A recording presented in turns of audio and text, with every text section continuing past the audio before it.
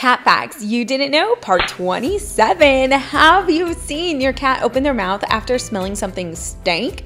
Well, here is why. When cats smell something, they often open their mouths slightly and appear to be tasting the scent. This behavior is called a flehmen response, which involves a cat curling back its upper lip and inhaling through its nose. This helps to direct the scent towards the Jacobson's organ in their mouth, a specialized sensory organ that is located pretty much in the roof of their mouth. And by inhaling the scent in this way, the cat can gather more information about the scent, including its intensity, freshness, and source but you'll most likely see your cat do this if they smell something a little raunchy. So, did you know this cat fact? Let me know in the comments.